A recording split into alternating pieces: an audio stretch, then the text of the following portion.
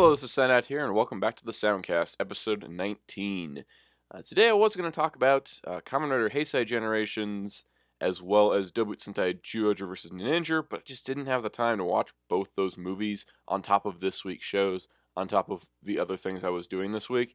Um, a lot of it involved playing Injustice 2, but uh, that's the thing is that the movies got subbed this week, and I like to do this week in Toku is here's what got subbed this week. I just ran out of time. Um, and I want to hit my deadline for the Soundcast uh, every Friday evening. So we'll be talking about those next week. They'll probably be the bulk of the first half of the show, um, and then still do the regular episode reviews on top of that. So that should be a fun time, uh, definitely. This week I did want to talk about uh, just life in general. What's life like for me?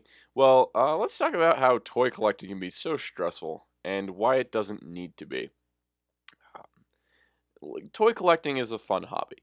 You're collecting toys, so naturally it is fun. Um, but it can be very stressful sometimes, and I'm not just talking about like, oh, I don't have enough money to afford these toys each month. That's that's not it. Um, sometimes you have the money, and then you just can't buy it, and that is the worst feeling. Um, or something is extremely limited and it's impossible to get. It's this kind of uh, thing that happens lately. Let's let's let's break it down.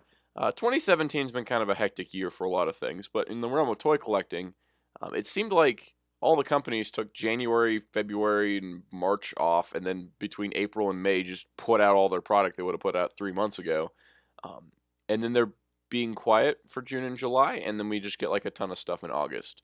Um, it's it's kind of like it's really uh, frustrating with the way that retail distribution works these days, uh, to where a wave of, of Marvel Legends, say like the Sandman wave, is popping up, start popping up in my area in mid-April when online retailers had it back in January, I think. Um, I eventually got fed up and just ordered a case off Big Bad Toy Store um, in order to get them because I was like, oh, I, I want Sandman. Um, but it, it, it was very frustrating. I was like, I can't find these in stores. What the heck? And so it was just like kind of a frustrating experience.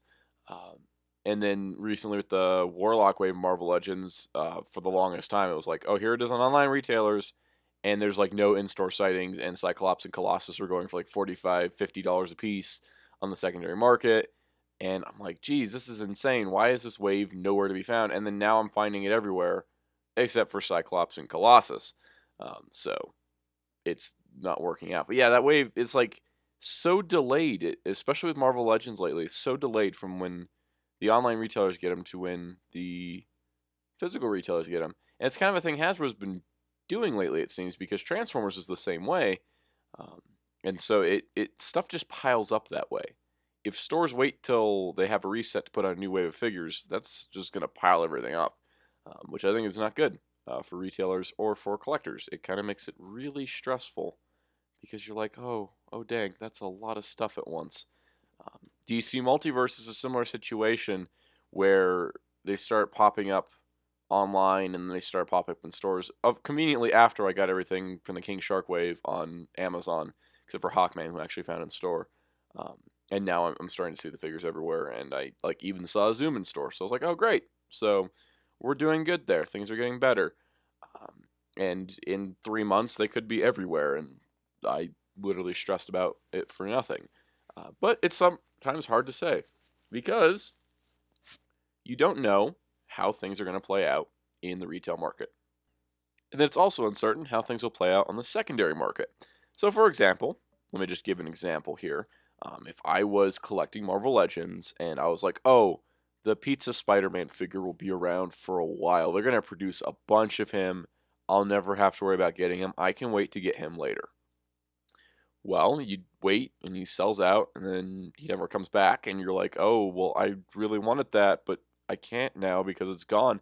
And then the aftermarket price, you can get one uh, loose for like $45 without a build a figure part. And then suddenly it's like, "Oh, oh crap, I screwed up. I didn't get this figure and now I I don't want to spend $45 on this 2 to 3 year old figure now."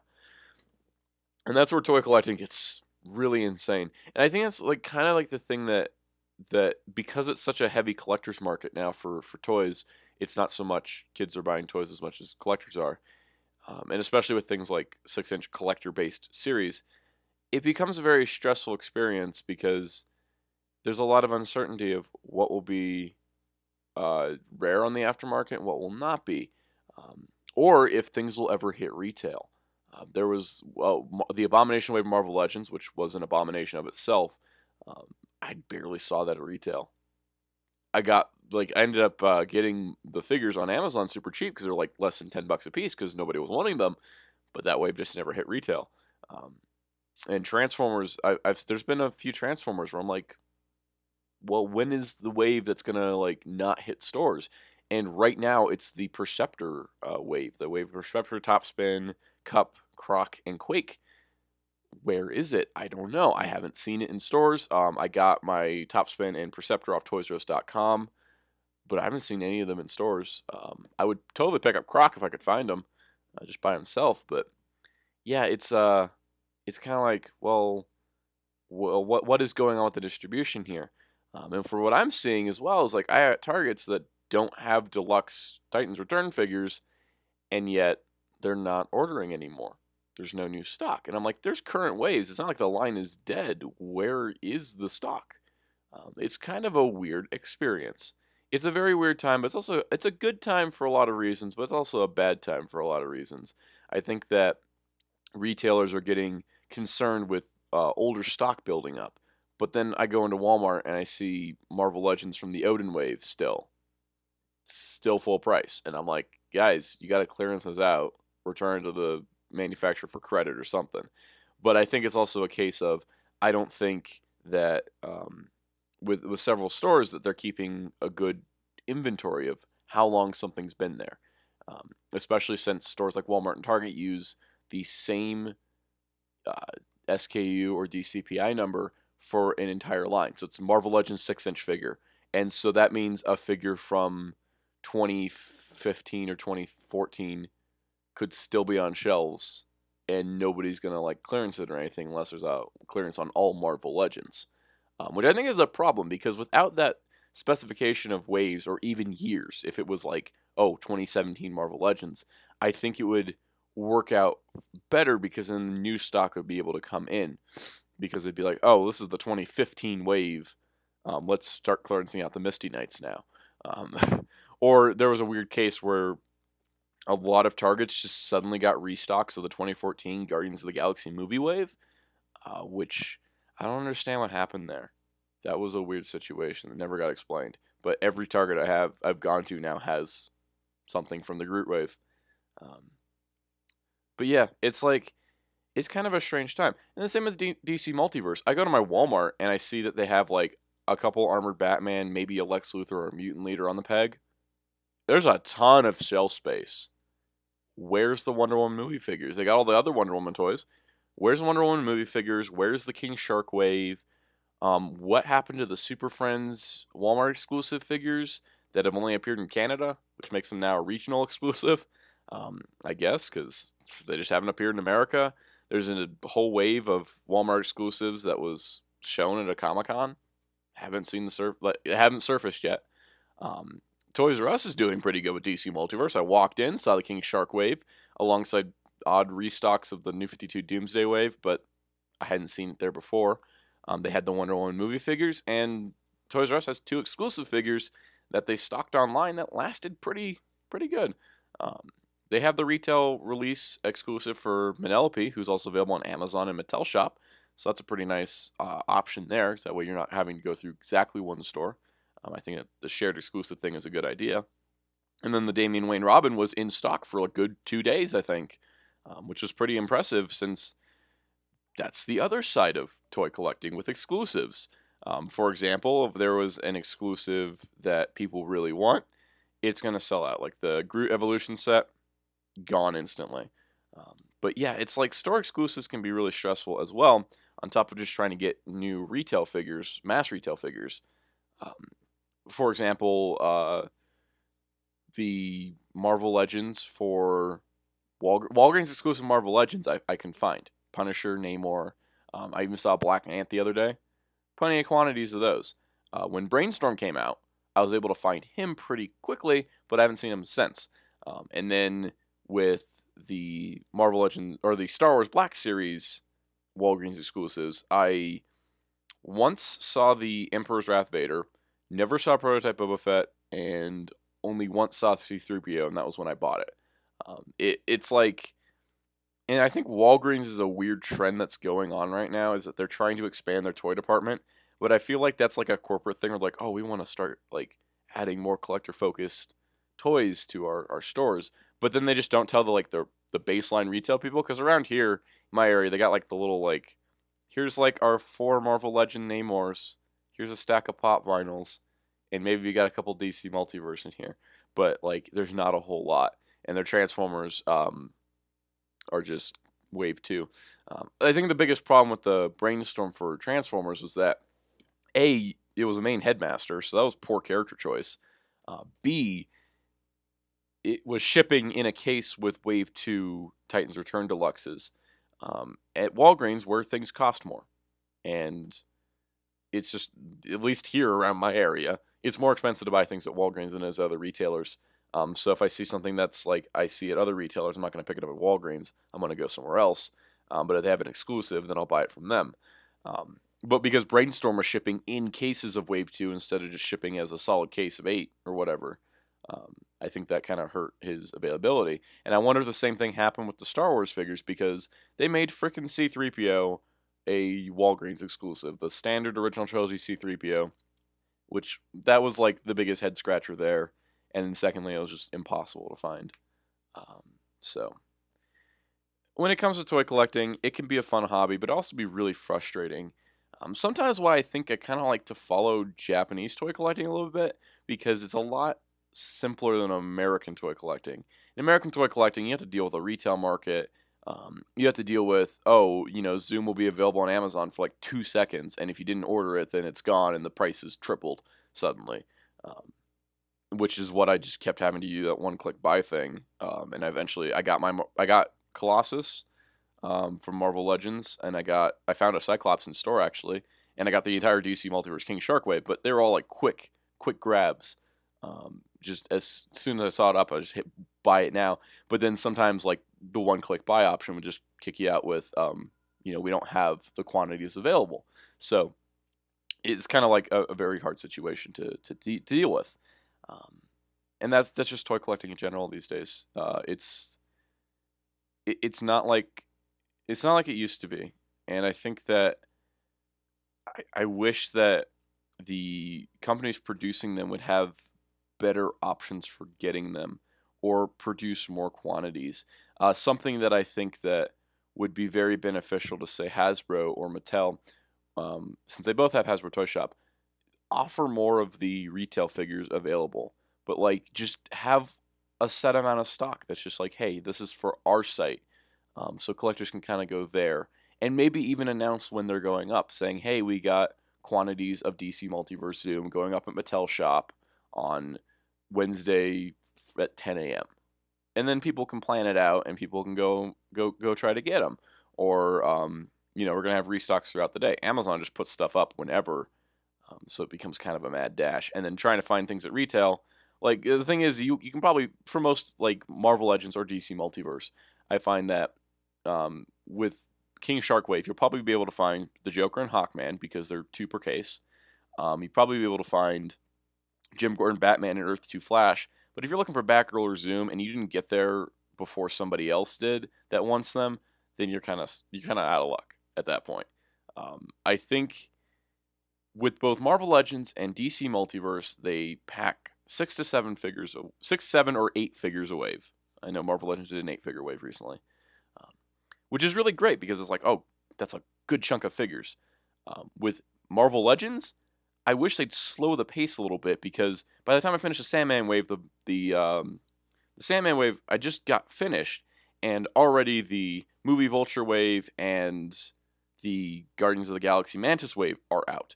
Um, and I'm like, whoa, pump the brakes a little bit because I just got through buying $180 worth of Marvel Legends. I got to recover that, you know, I got to recover a bit before you give me more. Luckily for me, um, I can skip Death's Head 2 and movie Vulture, movie Spider Man, and movie Homemade Suit Spider Man and Moon Knight because I'm just not interested in any of them. Um, so I'm like looking at nine more figures, but that's still another $180. So who wins in this situation? Like it doesn't, there isn't a winning situation here. So um, I think that Marvel Legends is a line that needs to calm down. and I think it's causing problems. I think at the retail level as well because they have characters like Shatterstar who aren't going to sell very well. Um, I, I don't think personally. Um, and then DC Multiverse is, is at a defined pace um, because, like, I think the next, the Batman Mech Suit wave is scheduled for June through Big Bad Toy Store, but I haven't ever seen multiverse stuff in stock at Big Bad Toy Store, at least recently. Um, so I don't know how accurate that date is. Uh, but then we have a Clayface wave that's not scheduled till fall, and you know, but the, the thing was, they did put out the Wonder Woman movie wave at the same time as the King Shark wave. If you're only collecting comic based figures, you were in the clear. You just got to figure out how to get the six King Shark parts. If you were collecting movie figures too, that's ten figures. That was that was where I was at. I was like, I, I got I got ten figures to buy, um, and then they threw in more exclusives. I was like, oh, it's it's now twelve. Um, and then there's another Wonder Woman that hasn't come out yet. That's 13. If you include the two Super Friends figures that aren't out in America, that's 14 in like a two month span. So it's kind of nuts. Um, I do kind of miss the days where, like, for, for budgeting wise, I miss the days where DC Multiverse shipped in two waves, where it was like, oh, here's three figures, and then a, a month or two later, here's the other three figures. That was kind of nice. It kind of spaced it out. I don't know why for the Doomsday wave they did four and two, and then for King Shark they're just like, ah, just throw all six together. And then for the Mech Suit Batman, they're like, ah, we're just gonna do five instead. So I don't know what's going on. Um, collecting American superhero figures as well as collecting Japanese Sentai Mecha and uh, Figuarts and such, it gets really taxing uh, on on the budgeting uh, side of things, but also just like trying to keep up with everything. Because I've been talking about American toy collecting primarily through this. I could probably have a whole other segment about Japanese toy collecting and how that is madness with web exclusives and pre-orders going up and uh, HLJ stock problems and I think that's going to be a subject for another day. I don't really want to talk more too much more about this, but I think when it comes to American retail uh, products, it's it's and I even talk anything about Power Rangers, and that is just a whole other can of worms because Power Rangers is the kind of thing where it's like no online pre-orders. It's like oh so Cataclock and Snow Knights are out, have fun, and I look at my stores, I'm like oh I I just see the first couple waves. And I think something Bandai should stop doing is shipping any cases that are just the five rangers without the villains. Just ship them with the villains. Just do that as one wave. Uh, because that is kind of clogging up my Toys R Us. And I don't think they can get more figures. And I really wish they would have done a wave of six for those deluxe armored figures because I've not seen the second wave because the first wave is not selling. And yeah, Legacy is a different story too. Um, I, I've not had too much trouble finding legacy stuff, but at the same time, I can understand like if you're not if you're not there right when it comes out, it can get really stressful to try to pick it up. But hopefully things pick up with American retail. GameStop's getting in the game of uh, getting collector series, so you know they're getting Star Wars Black Series, DC Multiverse, Marvel Legends. Um, they're getting more collector focused, it seems, for toys um, as well as games. So honestly, GameStop may be a better toy resource than it is a game resource and hopefully Walmart and Target kind of shape up a little bit. I've not had problems with Toys R Us. And Walgreens, you got to tell your other stores, expand those toy sections. Because right now, I'm not believing that you're trying to do a collector's toy focus push. It's just, it's not, you're not selling it yet. But, uh, yeah, so that's pretty much it. Um, let's move on to This Week in Toku. Welcome to This Week in Toku, the segment of the show where we talk about this week's Tokusatsu series. That being said, it's whatever has been fan sub for the week, not what was aired this week, because I record on Fridays. Most Toku shows air on Sundays in Japan, just Saturdays in America. Uh, also, Kyoryuger Brave is on a mm, one week delay for subs for fan subs, so we're gonna be looking at the episode that got subbed this week. Um, like I said earlier in the show, we will be talking about Kamen Rider Heisei Generations and Zyuohger vs. Ninja next week after I've watched them and I can do full reviews of them. So let's talk about Uchu Sentai Kyuranger episode 14. Full spoilers, this episode was pretty much filler. uh, which was kind of nice. We haven't had a filler episode in about seven episodes, and I feel like in the midst of the plot, we don't get those neat character moments that I always like with Sentai. Um, I always feel like what why I always feel more connected to Sentai characters than Rider characters is because the plot just takes a break sometimes, and we can get some nice focus on them. Um, we have gotten more character focus lately, which has been really nice in amidst the plot, and it kind of all ties together. This episode was a focus episode for Garu, and that's kind of interesting because really Garu got some focus in episode one, and we haven't seen a whole lot about him since. He kind of moves Lucky's plot forward from last week, um, last week, the week before, two weeks ago. Um, but you know, I think that's it's great for him to get some focus. Uh, also, it's just nice to have a goofball episode because this show's about you know an evil organization, empire taking over the universe. It's nice to have a goofy episode. Um, this is all about like just this guy that likes fancy stuff. That's the whole monsters thing. Um, fancy and luxurious. Uh, so it's kind of interesting because it, it's also neat because the Kyurangers had to infiltrate this zone, and it's also very apparent that all of Dark Matter does not know the Q Kyurangers' identities. It's kind of like something that you think about. It's like, oh, well, you know, that when they have pictures of them, it's like, no, well, most of the monsters that come in contact with them in their civilian forms end up getting killed, so they never can actually, you know, track down who they are outside of just the Kyuranger suits or the Seiza blasters. So it was really neat. Uh, there was some fun stuff with Kyutama and Shou Ronpo just being silly, and it was just a goofy episode, and I really liked that. Um, but there was a subplot here, which was Garu is was getting unsure of himself because he wasn't getting picked at all uh, from the Qlet chance. He was getting just sidelined all the time, and it, it kind of was getting to him. And I thought that was hey, that's a really great plot. Um, because it's not something you think about in Sentai. Like, oh, they're out there fighting, but it's like, do they have doubts about themselves? Are they self conscious about things? And yeah, I think it was kind of interesting. Um, also, his whole crisis of him having to cross dress using a Kyutama uh, was kind of funny because he basically confessed his love to Lucky a few episodes ago. So maybe he's just maybe he's having trouble with his sexual orientation as well. I don't know. Maybe that's reading into it a little too much. Um, but I think that it was a great focus for Garu that let, you know, him shine. It let him shine a bit. Also, some great scenes with Balance and Naga um, while Lucky and Spada get the team up. And Hammy just literally left the show for most of the episode. Didn't even fight in a ranger suit this time. It was kind of strange. But yeah, I thought it was really neat um, just how this episode was done because it was the perfect example of a good Sentai filler episode to where it doesn't advance the plot, but it develops a character and has a lot of fun doing it. That being said, not much else to say. Uh, it was nice to see RyuTeiOh use different arms, in this case being uh, Tenbin Voyager and a Abetsukai Voyager, well, since Kotaro and Stinger are out of the show for now. And yeah, I thought it was a really good episode overall, just as as a standalone, here's a fun episode. Um, I'm really looking forward to next week as Hammy did the uh, the episode previous, so might actually focus on her, which would be nice for the same reason that yeah she got a little bit of focus here and there, but not a full episode to herself. Um, I'm kind of hoping that that's what we're going to be getting for you know the next little while while Stinger and Stinger and Champ can go deal with the plot stuff, but just have the main Kyurangers get developed a little bit. And I think having less characters to focus on gives you a chance to kind of focus in, be like, hey, this is Garu's episode or this is Hammy's episode. Um, because anybody that was past the main five each got their own episode. I'm counting Balance and Naga as one being at this point.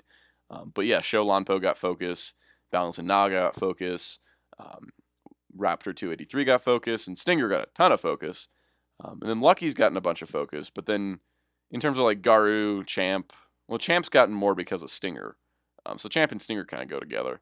Um, but yeah, like uh, Hammy, Spada and Garu hadn't gotten much focus, and I think that it'd be really nice to see like next week be Hammy and the week after be Spada. I don't know. Um, I think that if we're not going to be getting any new mecha or any new uh, Rangers till July, let's take that time to develop the characters now um, and maybe advance the plot a little bit here and there. Also, for those curious, yes, we're actually getting off Earth next week, it seems like, because next week's title is like the ocean planet Verla or something like that. So, um, kind of looking forward to uh, a little bit change of setting. Um, but yeah, overall, Kyuranger 14 was a solid episode. Uh, I know some people may not like it because it's like, you know, I think honestly, I feel like the Toku community gets too wrapped up in oh, there's gonna be plot and drama, and the plot has to move every single episode. And I think that it works for Rider uh, to an extent, but it doesn't work for Sentai. Sentai is different. Sentai has always been different. And if you are going into watching Super Sentai wanting it to be more like Kamen Rider, then please, for everybody's sake, stop watching Sentai. It's not for you. If you're trying to get Sentai to be more like Rider, then go watch Rider. And if you're out of Heisei Rider, go watch Showa Rider, because Showa Kamen Rider is honestly better than Heisei Rider in a lot of ways. And a lot of people don't give it a chance. But that is just me. I personally think if you don't like a show, if you don't like a show to the point where you're complaining about it constantly on Twitter, I would recommend not watching it. Or if you're not going to watch if you're going to watch it anyways, don't complain about it because if there's a show that everybody likes that you don't and you're still watching it and you're complaining about it, then that's just kind of I think a bad reflection on you because at that point you should you don't don't watch something you don't enjoy. TV shows, movies, comics, video games, they're all entertainment. They're to make you feel better or to give you a deep story to think about. Um, film can be used as a medium where it can, like, you know, you can think deep about things. But for a show like Super Sentai or Kamen Rider or most Toku, they're there to entertain you. And if you're not being entertained, then why bother? It's just you're just wasting your time at that point because if you're not entertained by the entertainment content that is presented in a Super Sentai series, then don't watch the series. It's simple as that. It'll save you a lot of stress. Anyways, now that my um, my therapy corner is over, let's talk about Kyoryuger Brave. Um, in an ironic twist of fate, Kyuranger did not have a very plot heavy episode, and Kyoryuger Brave had a very plot heavy episode. In fact, we're starting to get the semblance of a story here, which I think is really nice. It's just been kind of the first four episodes have been setting up Rangers and conflicts, and last week we got the very good introduction of Dino uh, Gold Brave, who is a space mercenary who's fighting the Kyoryugers, and I was like, hey, this is cool. I'm mixing up my terms again. I'm so sorry. Everyone out there, Dino Force Brave and Kyoryuger Brave are the same show with two different sets of terminology and two different languages. And I'm going to start mixing them up because I'm still thinking about Kyoryuger since it's the Kyoryuger sequel, but I've been watching the Korean version, so it's going to get mixed up. And I apologize for that if that confuses anybody. Um, yell at me in the comments if you like. Anyways, the point is, is that this episode, I think, finally started getting us to a plot, which is fine because the only other toy we haven't seen is Bragigas again because we saw him at the beginning, but we haven't seen the Gigant Bragio.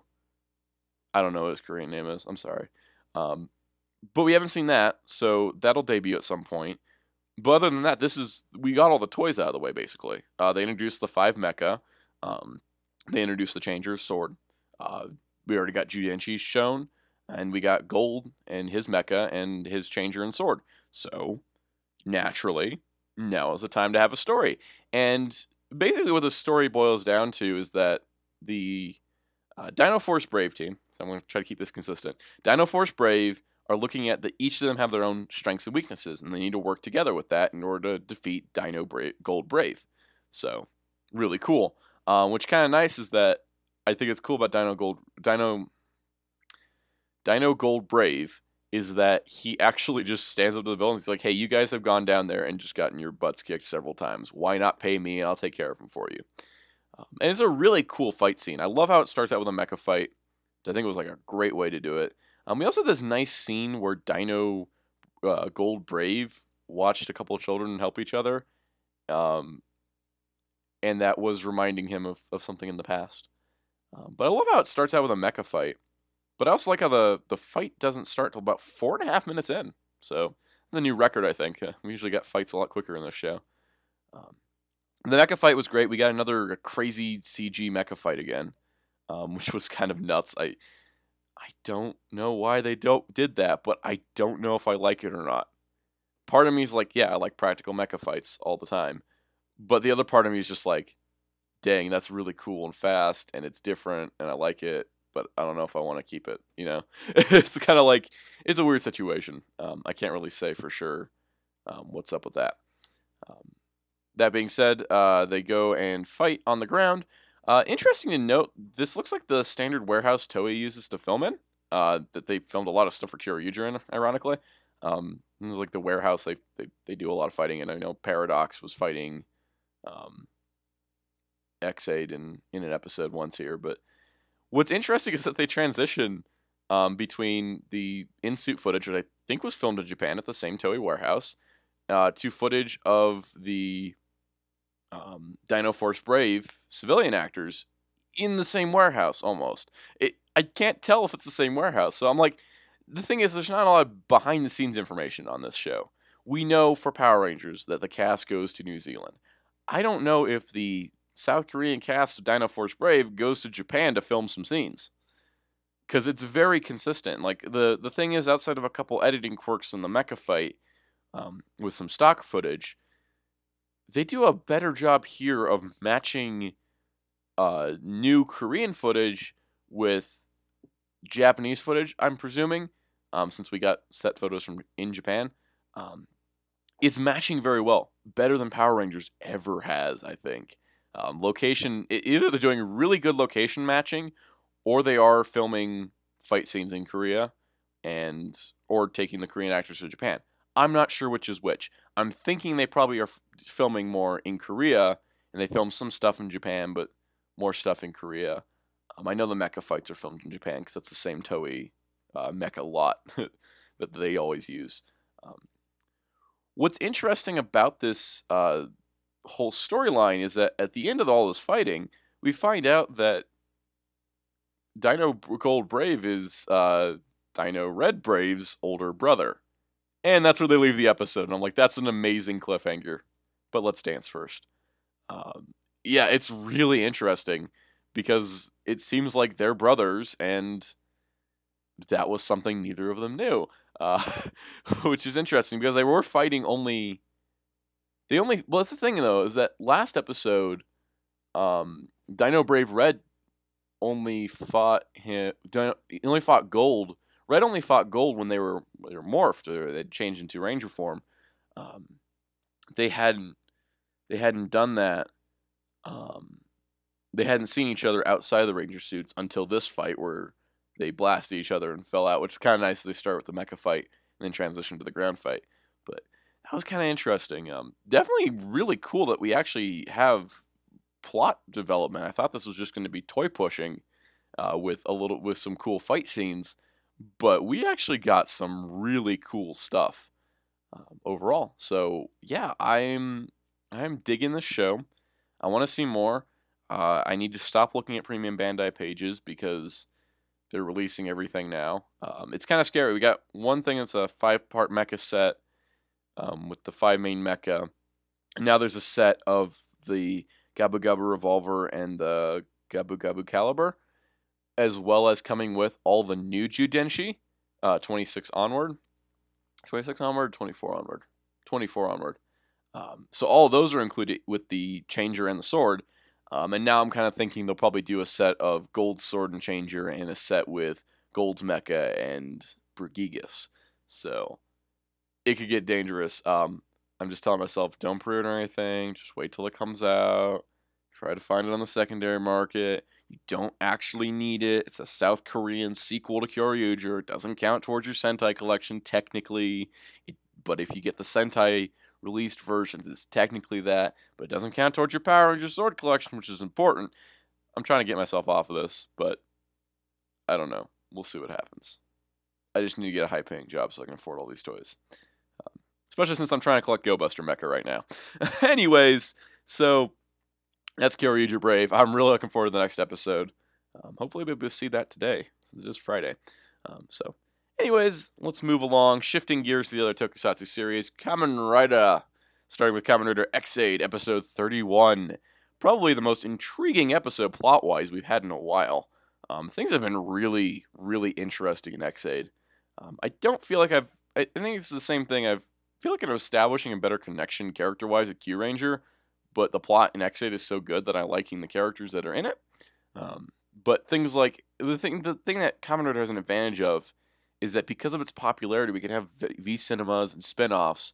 So you have like the Brave special that you know delves into Brave's character more, or the Snipe special that goes into his backstory, or you know apparently there's a Laser one coming up, and there was a Genm special that. Wait, Genm's like the main plot of the show, so was it really that different? was it really more focused than usual? I don't know. Uh, point is, is that characters get extra focus beyond the main rider through those special side stories, um, which is something that you know they can spend more time in the show developing the plot, and then do those side specials to develop the characters, which I think works. I mean, they've been doing a ton of side stuff for Ex-Aid, uh, which really helps with that. But overall, like the main focus here is Emu and Parad, and they're the two main characters. But Genm is like that third character that just throws a wild card into everything. And last week we got the revival of Kamen Rider Genm. Dan Kuroto is back. And now he's back, and he's going to be working with CR and the other uh, gamer riders. That's not the term. Ride players. That's not it either. Gamer. I don't actually know what that term is the other Ex-Aid riders, basically. Um, what's interesting is since Dan Kuroto became a bugster, he's like really goofy now, like even goofier than like crazy evil Dan Kuroto from before he died. Um, but he he's such a dick. like it's just that's how he he is just such a jerk to everybody. He's like, oh yeah, I built this whole system so everybody can come back to life after they die. It's a continue system. And then they're like, "Oh, you better atone for your sins and apologize." He's like, "I don't know what I've done that I would apologize for." Everybody's like, "You've killed people. You literally murdered one of our riders." Still miss Laser. Rest in peace, Laser. But you'll probably be back because this is how the shows go, everybody's everybody that's died in the shows come back. Graphite's back. Dan Kuroto's back. If Kiriya doesn't come back, I'm gonna be so pissed. Um, anyways, so apparently, Clearing Kamen Rider Chronicle will bring back all the people that have died. So that's convenient um, if that actually happens, because I don't exactly tra- trust uh, Dan Kuroto that much. I think that he's still evil, still really evil. Um, but that being said, I think that the character is really well developed in that he had this whole arc. He died and was completely gone, but then now he's come back and he's trying to atone for his sins, and he's got 99 lives. So he, even though he's a level zero, he can stand up to Paradox because Paradox level 99 can defeat him, but he just comes back through Mario warp pipes apparently. Uh, but also level 0 allows him to drain the levels of anybody any other rider he's touching, which I think is really cool. Um, also, I love how Poppy just has control over him, so you can just like throw out Dan Kuroto into battle, um, which is just so interesting. But also keeping him in check is tricky. But by the end of this episode, he kind of realized that it's better to help uh, Emu and friends instead of fighting against them, um, as that's going to get the end goal of taking revenge against Paradox and clearing Rider Chronicle and etc. etc. etc. I still love Paradox's suit design for Perfect Knockout Gamer. Let's just talk about how amazing that is. Um, it's just it's beautiful. It's got the nice flowing cape. It's mixed up the um, knockout fighter and perfect puzzle heads together into one, and it just merges the two designs together. It's wonderful, and I want a figure art. I want a figure art of all Paradox's forms. I think he's probably my favorite rider of the show, honestly, because his motivations are so good and logical in what he does, and it makes sense. It makes a lot of sense when I'm I'm thinking about it. Um, and he's probably the most interesting character in the show as well. Um, what's also kind of interesting is we had a ride player this episode that was an, an older woman who wanted to um, be able to protect her son, I believe, and that was kind of an interesting plot plot point that doesn't really get explored, but it's the kind of idea that there are some people out there who are like, "Oh, this this game is dangerous and can hurt, you know, people I love. I'm going to fight it and try to beat it even though I don't have the strength. I'm going to do so anyways." But that was really great. Um, also, Nico for the win. I love Nico in this episode. Um, there's been a debate lately if Nico is a rider or not, and I say yes. Ride player N is Kamen Rider Nico. That is the answer, and I want a figure art. Please, Bandai, make it happen. I will buy it. Same with Poppy. Make those two, and I'll be really happy. But yeah, uh, basically, a lot of great stuff. Um, I love how Dan Kuroto is just handing out presents at the end of the episode, and he's like, "Oh, here you go, Emu. Here's Doremi Fa Beats token. here you go. Um, Taiga, here's an extra Gashat Gear Dual. I'm like, yes, finally we can have Taddle Fantasy and Bang Bang simulations. And then um, here Nico have Candy. And here Brave just say, no, like, your girlfriend might not be dead anymore if we finish this game. But yeah, this is a great episode because it it established Dan Kuroto in his new existence as a backup secondary rider hero.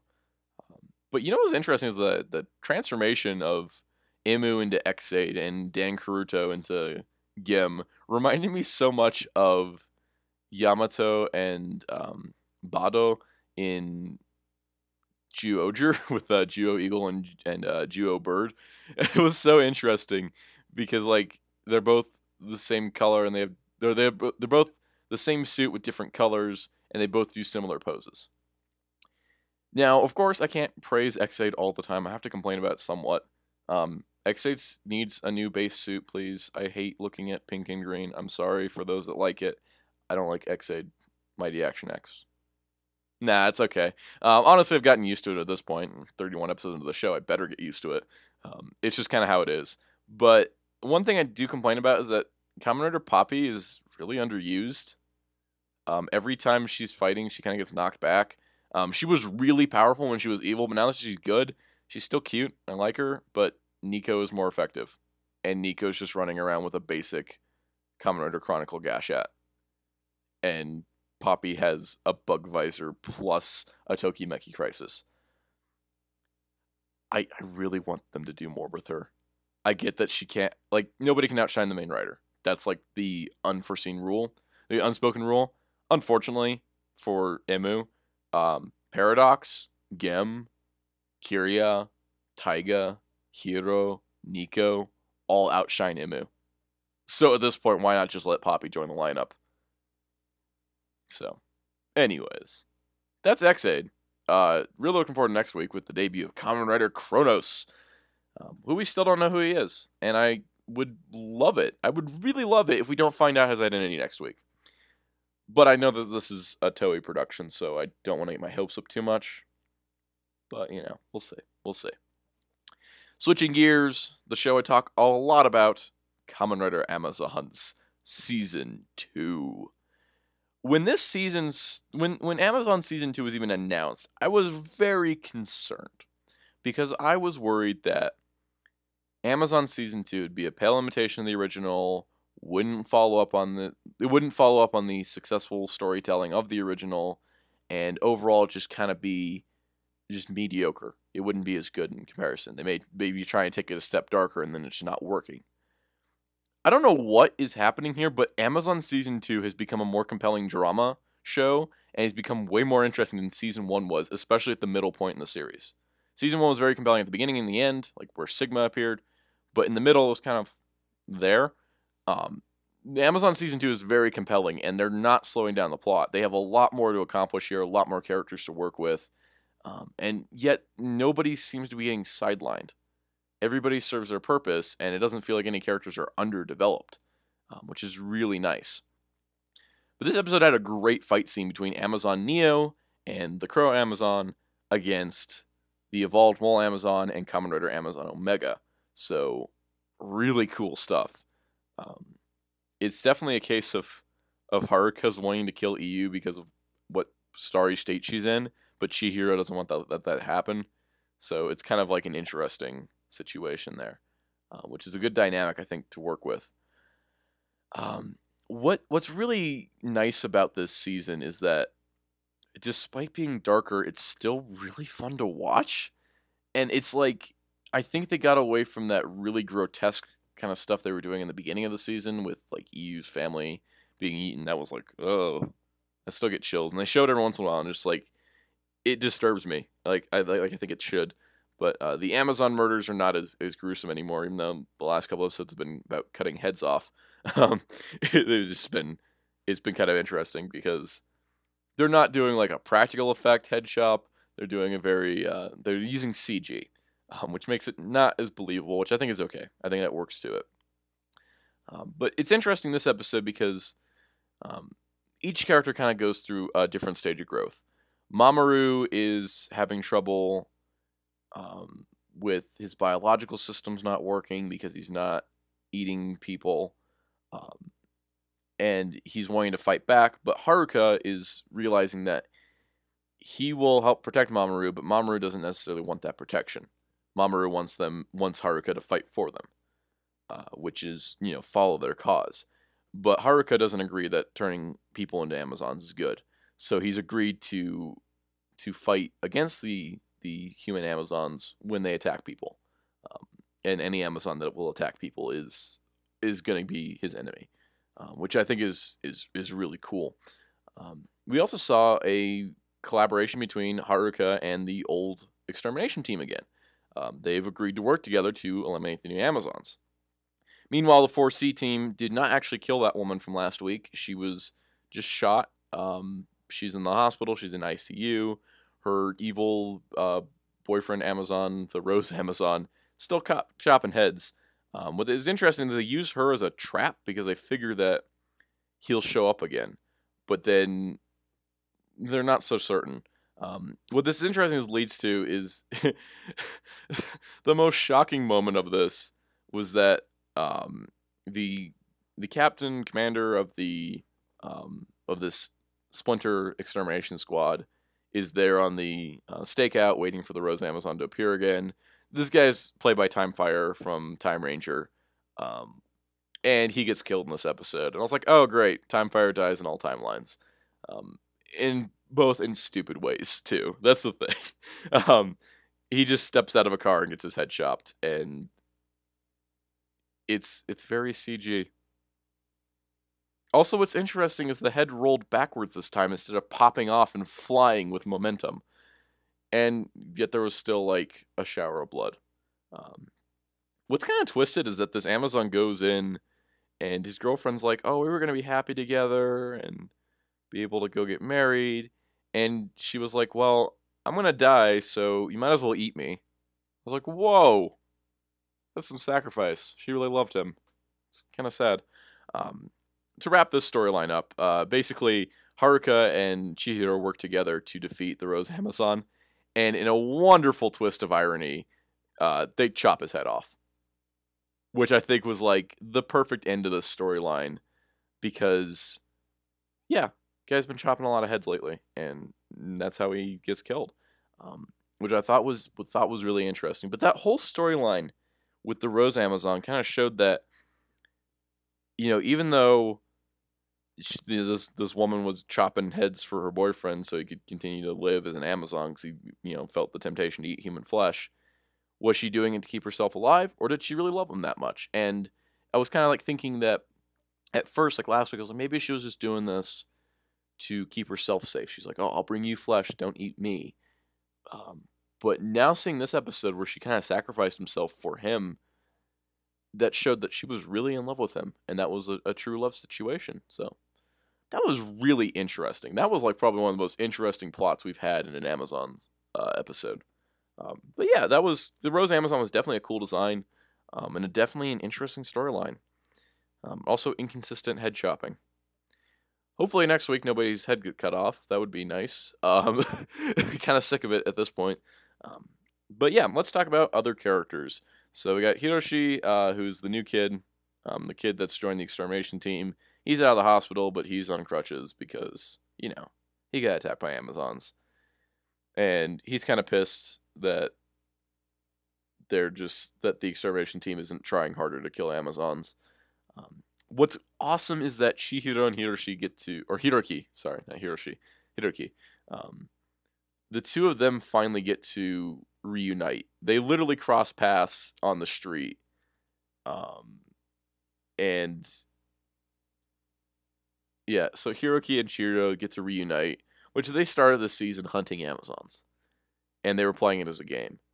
And they have this great conversation where they talk about like and, and Hiroki's like, I would have never started hunting Amazons if I had known like who they were what happened or what would this lead to because two of, one of his friends is a dead amazon and the other friends got eaten by an amazon like he's um he he realizes now that that doing this thing that that made the money was hunting Amazons and posting videos of it on the internet, made the money, but it was not worth it in the end.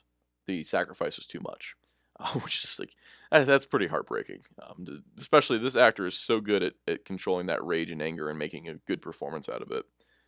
Um, but basically, the water source um, comes from the original Amazon. Um, they're just calling him the original, and that's it. Um, but apparently, Mamoru used more than just an arm, has more than just the arm of the original. Um, so the original is not Takayama Jin, Amazon Alpha. Uh, so my speculation from last week is incorrect. Uh, but the original is the original Amazon. That's the body that's cells are going into the ground to pollute the water source. Um, interesting things in this episode was that Fuku and Mizuki got to have a conversation about why they're on this 4C extermination team, um, which I thought was kind of interesting. It wasn't too too uh, eye opening, but I thought it was kind of nice. They're kind of like here we're season one characters in a room full of season two guys, um, so kind of interesting.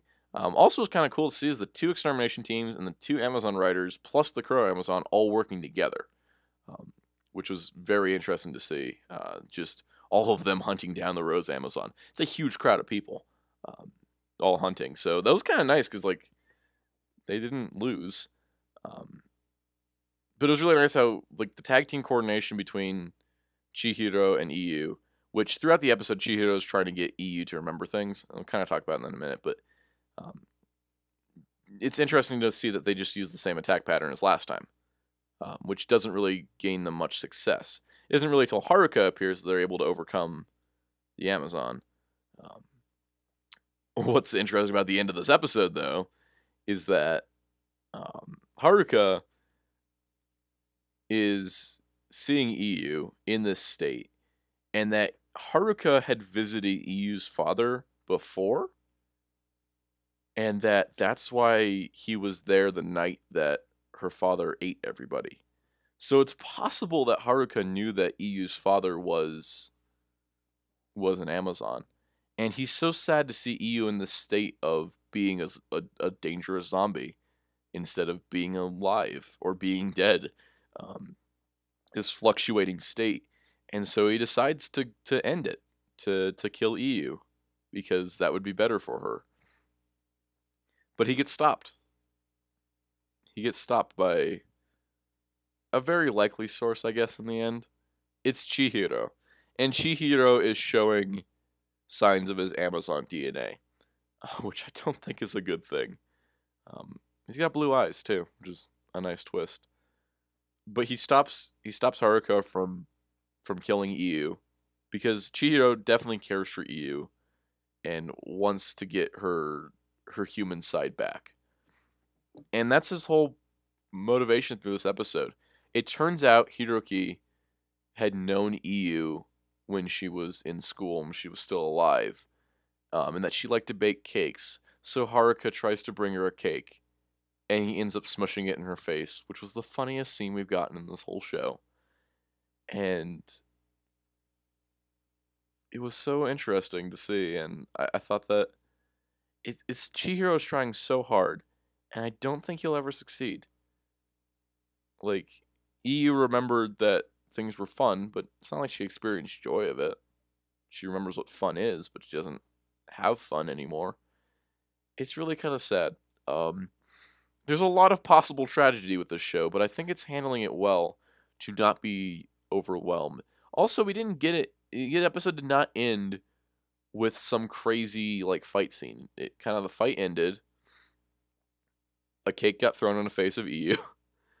um, and then the what's also interesting is that the original had Amazon cells before the mutation, and they match Chihiro's, which means Chihiro and the original are connected somehow biologically.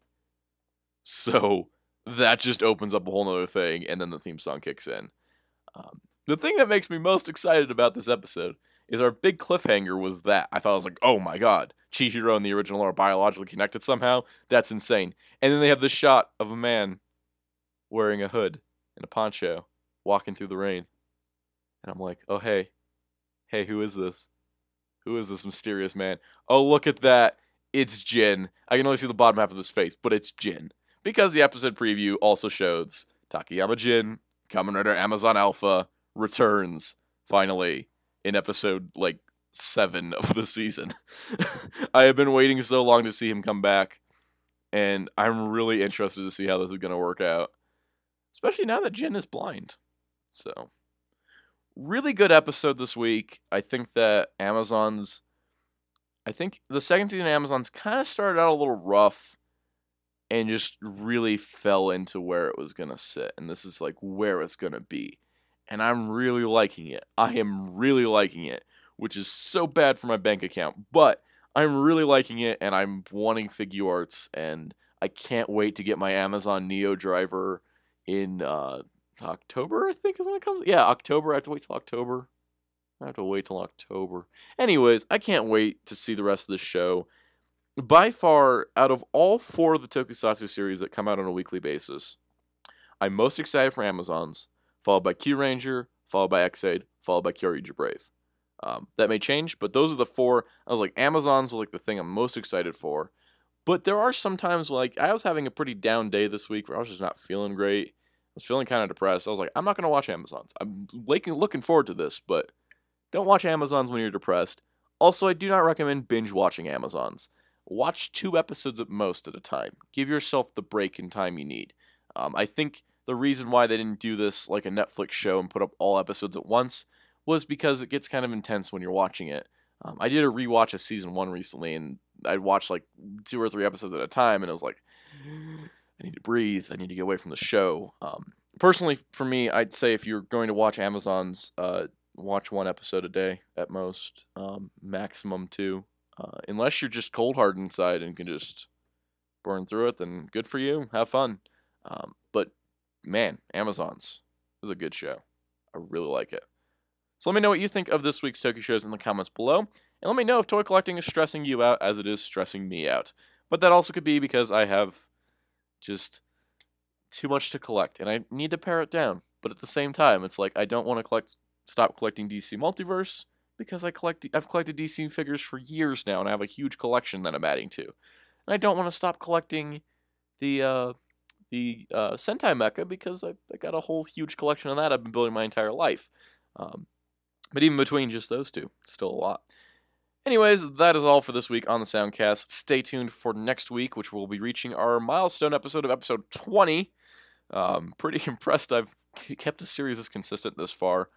Um, so definitely look forward to that next Friday. We'll also be talking about Heisei Rider Generations, as well as Zyuohger versus Ninja, in addition to This Week in Toku. Probably not an opinion spot next week, because I got two movies to review, plus four episodes of a show, so we'll see how it goes. Um, overall, super happy with uh, with shows this week. I like how we're in a good spot with Toku, where I'm enjoying all four shows um, to several extents, and eventually Ninja Steel will come back, and we'll start reviewing that. Um, I guess it's a little bit pre-early of a thing, but once Ninja Steel comes back, I'm planning on reviewing those episodes on a weekly basis as well. So, anyways, till next time, this is Soundout saying goodbye.